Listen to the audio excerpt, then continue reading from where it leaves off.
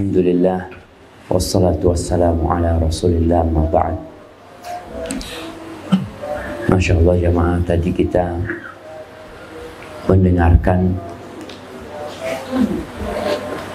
sebagian besar dari surah Al-Insan yang dibacakan oleh Ustaz Ahmad. Tabas jazahullah khairan. Surat Al-Insan ini apa artinya insan? Manusia Allah bercerita tentang kita dalam surat itu. Dan surat itu sering dibaca sama Nabi SAW. Kapan? Kapan jamaah? Sering dibaca sama Nabi SAW pada sholat subuh di hari Jumat di rakaat kedua. Rakaat pertama surat As-Sajdah, rakaat kedua surat Al-Insan. Karena waktunya singkat, maka nanti antum baca sendiri. Itu surat. Kemudian difahami tafsirnya. Indah sekali. Itu bekal untuk pulang. Secara singkat, ayat itu dimulai dengan cerita manusia yang dahulu tidak ada. Dulu nggak ada yang namanya Syafiq, Riza, bahasa lama. Nggak ada. 50 tahun lalu nggak ada. Antum juga dulu nggak pernah ada fulan, mana nggak bisa disebut ada namanya fulan. Akhirnya Allah ciptakan kita. Allah ciptakan kita dari sesuatu yang hina sebenarnya. Mimma mahin. Di surat Al-Infitar Allah mengatakan ya ayyuhal insan. Kalau di surat Al-Insan hal ata 'alal insan. Di surat Al-Infitar Allah mengatakan ya ayyuhal insan ma gharraka bi rabbikal karim. Wahai insan, apa sih yang menyebabkan engkau itu tertipu dengan terus berbuat dosa, bermaksiat kepada Allah Azza wa Jalla? Apa? Allah sudah memberikan segala fasilitas kepadamu, segala kenikmatan. Terus kenapa kok kayak gini gitu? Kemudian Nabi SAW meludah ke tangannya. Dia mengatakan Allah berfirman. Mengatakan kepada manusia, wahai manusia, dalam hadis Qudsi. Engkau itu diciptakan dari sesuatu yang hina seperti ini. Sampai tatkala engkau sudah besar ya, walil ardi minka atid. Atau kama qala Nabi SAW dan bumi ini kalau sudah diinjak sama engkau sudah berbunyi sama dirimu. Artinya jadi sombong kau disuruh nggak mau dilarang tetap melanggar. Padahal engkau tercipta dari sesuatu yang hina. Tapi memang Allah kasih kebebasan buat kita. Allah kasih petunjuk imma syakiran wa imma kafura engkau mau bersyukur tafadhol Mau beriman, monggo. Mau kafir silahkan. Allah nggak butuh dengan ibadah kita. Allah nggak butuh kita subuh ini sholat di sini. Allah nggak butuh. Allah nggak butuh untuk duduk di tempat ini. Terus kenapa kita disuruh? Karena kita yang butuh. Karena kita ini bodoh. Kita ini zalim. Kalau nggak dikasih tahu, nggak dikasih arahan, neraka nanti kita tempat. Kalau bicara makan aja, orang kalau makan nggak dikasih arahan, sakit-sakitan dia. Kenapa dikasih tahu? Eh jangan makan ini, membahayakan dirimu. Ini urusan makan, urusan tubuh kita. Bagaimana urusan pulang kampung? Kalau nggak dikasih tahu, nggak akan sampai ke surga Allah Tapi Allah kasih kebebasan. Imma syakirah wa imma kafurah. Dan dua-duanya ada konsekuensinya. Yang kafir jelas ada neraka sebagai tempat kembali dia. Yang bersyukur Allah berikan kepada dia segala kenikmatan. Taib. Kemudian Allah sebutkan sifat orang-orang yang kembali ke surga ini kayak apa sifatnya? Allah katakan yufuna bin nadri wa yakhafuna yawman apa ayatnya Ustaz? Yufuna bin nadri wa yakhafuna كان شره مستطيرا ويطعمون الطعام على حبه مسكينا ويتيما واسيرا. mereka melakukan segala amalan jemaah. Amalan manusia itu ada dua atau ada tiga. Ada amalan hati dan ada amalan raga kita dan lisan kita. Orang-orang itu senantiasa memenuhi nazar mereka. Mereka itu komitmen dengan janji mereka sendiri. Mereka bukan orang yang mencela-mencela. Orang beriman itu punya prinsip. Mereka penuhi janjinya urusan nazar. Dan mereka takut. Wa yakhafuna yawman kana syarruhu mustatira. Ini amalan hati. Rasa takut akan adanya hari di mana ya kejahatannya sangat menakutkan. Orang tuh ketika dikeluarkan dari kuburannya bingung dia. Dia melihat dirinya telanjang dia. Yang selama ini hidup menutup auratnya, yang selama ini hidup memakai sandal, memakai alas kaki. Dalam kondisi sudah disunat dalam kehidupan dia, tahu-tahu dia dibangkitkan dalam kondisi telanjang. Makanya hari itu hari yang sangat menakutkan. Orang itu terbelalak matanya. Semua masing-masing. Itu yang mereka takutkan.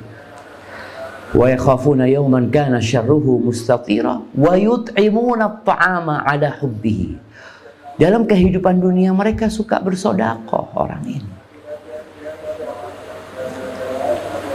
Jadi janjinya dipenuhin tadi nazar, hatinya takut ketika dia punya rezeki, punya harta dia berbagi. Dan ini penting buat kita. Memahami konsep kalau dapat rezeki berbagi. Bagaimana cerita Ibrahim bin Adham ketika bertanya kepada muridnya Syaqiq al-Balkhi, Syaqiq, akhbirni amma anta alaihi. Syaqiq, gimana engkau menyikapi kehidupan ini? Kata Syaqiq, amma ana idza ruziktu akaltu wa idza muni'tu sabartu. Aku ya menghadapi kehidupan ini kalau dapat rezeki aku makan. Kalau nggak dapat ya sabarlah. Tadi malam ngantri kambing guling. Ada yang nggak dapat ya? Ada nggak? Soalnya ada yang rame-rame tentang apa? Sosis, gitu. sosisnya habis. Nah, Ida ruziktu tuh. Kalau dapat ya aku makan. Kalau nggak dapat, ya sabar. Sikap ini baik apa enggak ya, Ma? Ya lumayan lah dipikir-pikir baiklah sah. Ternyata kata gurunya, hakadha ta'malu kilabu balkhin indan. Anjing-anjing di balkh itu kayak gitu. Seperti itu, dilemparin daging makan dia. Nggak dilemparin ini diam dia. Nggak ngamuk-ngamuk. Puh kata muridnya kayak asu gitu. Kalau anjing kampung kayak gitu. Iya. Dan seperti itu ya. Terus muridnya tanya, kalau engkau gimana menyikapi kehidupan? Kalau amma ana idza ruziqtu athartu. Kalau aku dapat rezeki, aku berbagi. Aku lihat orang lain yang lebih membutuhkan, ya aku kasih. Terus kalau nggak dapat rezeki, syakartu, aku bersyukur nikmat Allah itu banyak. Bukan cuma makanan nikmat Allah. Jangan kejadian tadi malam ya orang nggak dapat kambing guling ya Allah, aku bayari bodoh Aku udah oleh kan ya. Oh. Nah, jemaah seharusnya yang dapat itu jemaah. Ini juga konsep berbagi dalam Islam itu. Nabi alaihissalatu mengatakan ta'amul wahid lisnain. Makanan orang satu itu cukup untuk dua wa ta'amul itsnain di salah. Makanan buat dua orang cukup buat bertiga gitu. Nggak ada istilah kehabisan makanan. Akhirnya wis oleh paling akeh dhewe dituluk iwong ndak enak. Makannya ngadep ke tembok ya. Nah, kita seharusnya berbagi. Cuma berbaginya bukan pencitraan. Allah sebutkan Wa yut'imuna ta'ama ala hubbi. Dia cinta tuh dengan harta. Siapa nggak cinta dengan harta? Tapi dia tetap berbagi. Miskinan wa yatiman wa asira. Dia bagikan ke tempat yang tepat. Karena ada orang berbagi buat kemaksiatan. Anda masih ingat waktu di pesantren, kita itu kalau minta sumbangan buat pondok, susah. Anak-anak itu kadang kala susah sekali. Tapi kalau minta sumbangan untuk pesta, untuk seneng-seneng, itu cepet dapatnya ya, Kan ada orang yang salah gitu. Oh saya ikhlas nyumbang. Loh, tapi salah tempat tentu. Allah menyebutkan nih orang ketika berbagi, dia tepat sasaran. Miskinan, wa yatiman, wa asir. Asyrah itu orang yang ditawar. Wa yutimuna ta'ama ala hubbihi miskinan wa yatiman wa asira innama nut'imukum liwajhillah la nuridu minkum jazaan wala syukur. Inna nakhafu min rabbina yawman 'abusan qamtariyah. Mereka ketika ngasih makan, kata mereka apa? Kita tuh ngasih makan kalian. Liwajhillah. Kita nggak butuh dari kalian jazaan wala syukur dua hal nggak butuh balas budi nggak butuh terima kasih. Dan ini berat ya, Kalau kita ngasih orang lalu dia nggak terima kasih, ini orang kurang ajar. Terus dikasih, masa nggak terima kasih? Iya dia salah. Secara hukum agama, la yashkurullah man la yashkurun nas. Kita disuruh terima kasih sama orang. Tapi antum yang ngasih jangan berharap terima kasih. Yang kedua, jangan berharap balas budi. Kenapa? Antum akan merana hidupnya dunia akhirat. Amal yang nggak diterima, gara-gara kita minta balas budi dari manusia. Yang kedua, antum akan susah karena orang itu nggak pandai berterima kasih. Manusia itu sama Allah nggak terima kasih, apalagi sama antum dikasih apa sama? Kasih mobil, Anak udah kasih mobil ya Ustaz. Pas anak susah nggak iling sama anak. Anak udah sekolahkan dia.